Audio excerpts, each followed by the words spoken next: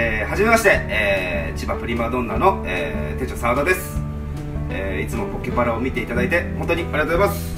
え、ポケパラを始めて2ヶ月ほど経ちますが、え、日々皆様に見ていただいてとても、え、感謝してます。